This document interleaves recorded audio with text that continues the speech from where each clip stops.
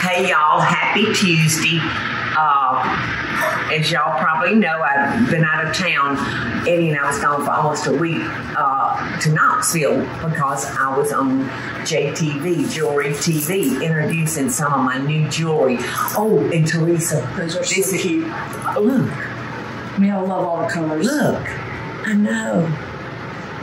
You can tell it's getting to be spring and summer. Yes, yes, yes. So Eddie and I had a good time, but we were glad to get home.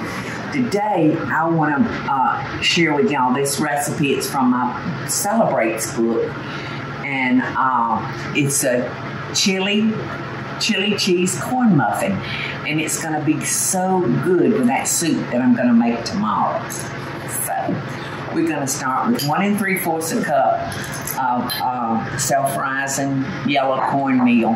Now, if you can find yellow, but it doesn't matter, white's fine too. So we've got one cup of flour. So we're just gonna blend those two together. And we've got two eggs. We've got a cup and a half of milk. Is that supposed to be a cup? Yeah, a cup and a half of milk, about a half a cup of cheese, like a third of a cup or a fourth of a cup of sugar. Yeah, it's a fourth of a cup. And this is what's gonna make Michael Groover happy. Fresh jalapenos. Those are actually poblano. Oh, these are poblano. I don't know what the difference is. I'm sure Poblanos can be so hot too. Um, Did you taste your finger no, after you I, did cut not. I wash my hands like you always tell me to do. I know it. Yeah, no, I cut it, seeded it. Well, it sure does look like a jalapeno, doesn't it? They do. They look exactly the same. So it just does, bigger. yeah, it calls for a fourth of a cup of seeded and chopped poblano peppers. I want to taste that so bad, but I don't want to have to stand up here and drink a quart of milk either. Trying, to cool myself off. All right, so we've got our eggs. And y'all, our little chickens. I'm telling you, I want to, Eddie, I want to show some of the eggs.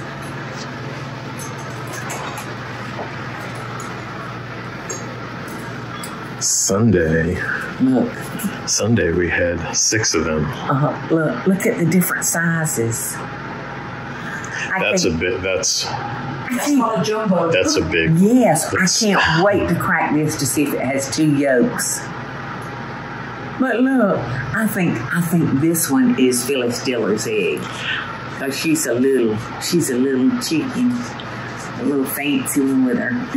Petite. Yes, but I'm telling you what, uh, Teresa, you got to start taking you some eggs Oh, home. I will. Don't you worry. Uh, wait, you need to save me your carton and stuff. I have a carton at home that I need to Okay. bring over. I forgot to bring All right, so in goes the eggs. I'll put the cheese. I'm gonna put the sugar.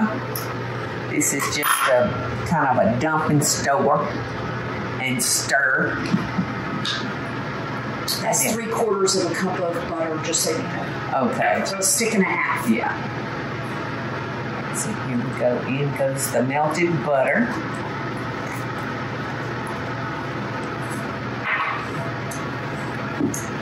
I'm just gonna stir those up a little bit, and then I'm gonna start adding my milk. And this is supposed to make 18 uh, corn muffins, y'all. So Sprayed my pans for 18. Uh, sometimes I can get pretty pretty heavy with my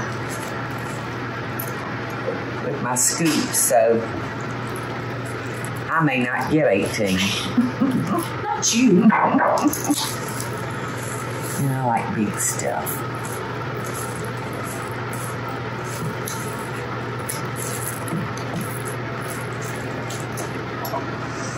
Wonder why I would not have put chili powder in this recipe.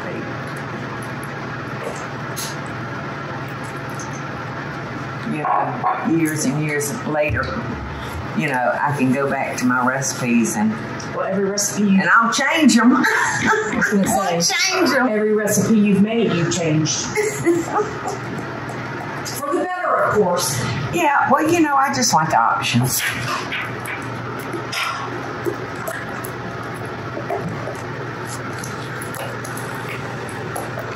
So there's no salt in here because uh, because there is salt in the self-rising cornmeal. But be safe, I'm gonna still add just a little bit. But it's got that fourth of a cup of sugar in it. So just a little salt to kind of balance that. Isn't that a pretty batter? Okay, so I I like using an ice cream scoop, y'all.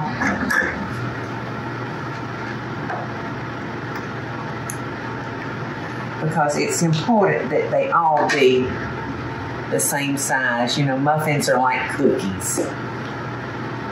You don't want to make them all different sizes. You want them to be able to, you know, cook at the same time, get done at the same time, and not have to have burnt ones or raw ones. Y'all, I got 18. And the very last one is actually a little heavier. Um, because I was wanting to make sure that I could get 18. So last got the jelly glass. All right, so these are going in the oven. Do you want me to put some water in here? No, I, yes, yes, please. Do you want to tell why you put water in? Yeah. Uh, I'll, oh, measuring cups are gone. Yeah. Uh, y'all, if I'm, if I'm, uh, don't have a full tray,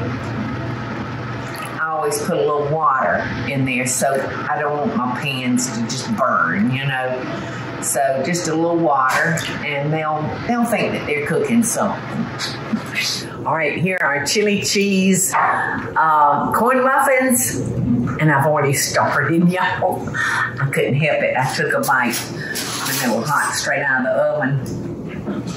And They're so good, so so good with any kind of soup. Any kind of soup. What else would they be good with? Oh, chili, hmm they'd be real good with chili. any soup. Yes, any soup. Mm. It'd be good with any meal. Mm-hmm. You know what I mean? Mhm. Just as a Um, I'm not getting any heat from the poblano. you're not. Mm-mm. Can you taste the Can you taste the pepper at all?